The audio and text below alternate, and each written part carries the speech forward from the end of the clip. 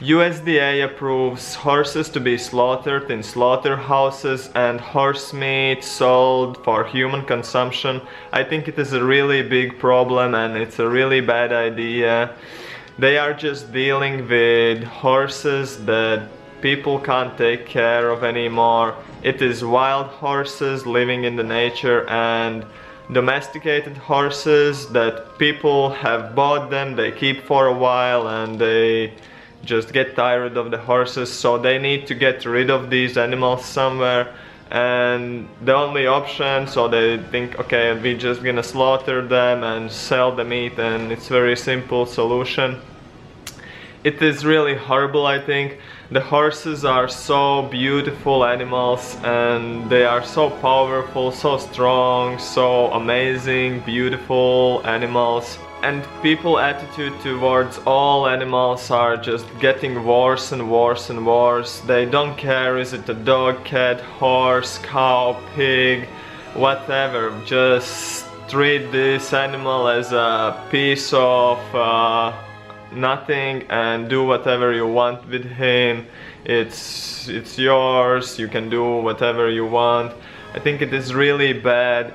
And instead of take making solution just killing the horses making slaughterhouses they should make really strict laws about how the animals are being uh, treated who is able to buy horses and who's able to keep them.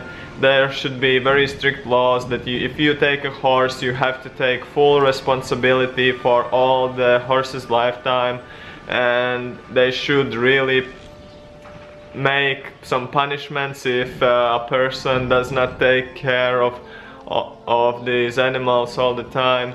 So then there wouldn't be so many people who take horses and then just throw them out whatever. And as well the situation with wild horses they are just the governments are very unfriendly to wild horses. They are more interested in farmers keeping some cattle and other animals, domestic animals. And the wild horses are being caught out and as well slaughtered just because to give more space to domestic animals. It is really bad. I really disapprove this all and I think people have to realize that we are not the only species living on this planet and we have to be equal to all animals and we have to be very intelligent about the way how we act. So that's why choose plant foods be very cautious about animals you keep at home go vegan peace